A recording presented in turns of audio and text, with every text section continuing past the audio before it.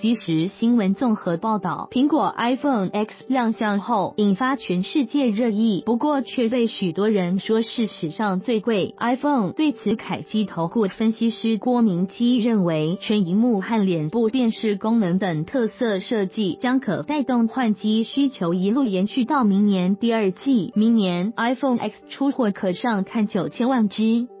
根据苹果日报报道，iPhone X 被戏称为“富人机”。国民机指出，投资人普遍看好 iPhone X 需求规格、售价与预期一致，而 iPhone X 预购较晚的原因，主要是怕影响到 iPhone 八分之八 Plus 的预购结果。